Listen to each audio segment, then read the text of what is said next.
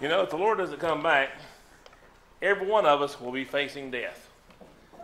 And uh, that's a scary thought, and many in the world are terrified by the thought of it.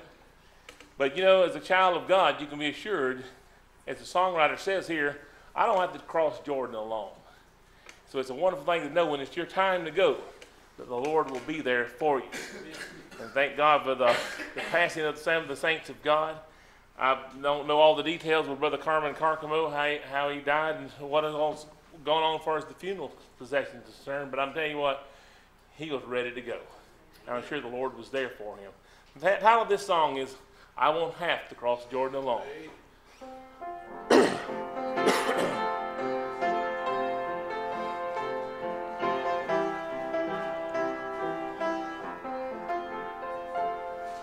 When I come to the river at ending of day, where the last winds of sorrow have blown, there'll be somebody waiting to show me the way. I won't have to cross Jordan alone.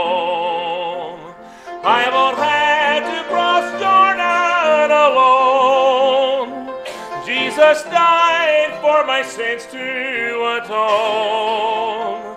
When the darkness I see, He'll be waiting for me. I won't have to cross Jordan alone.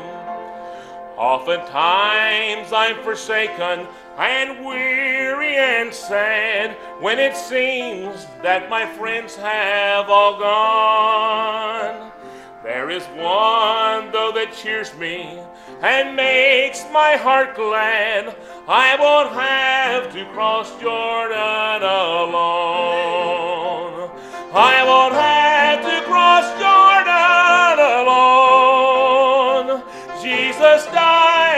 my sins to atone. When the darkness I see, He'll be waiting for me. I won't have to cross Jordan alone.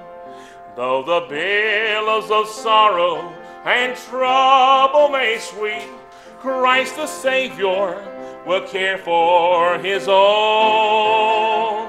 Till the end of the journey, my soul he will keep. I won't have to cross Jordan alone.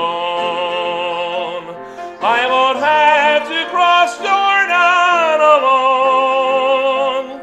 Jesus died my sins to atone. When the darkness I see, He'll be waiting for me. I won't have to cross alone.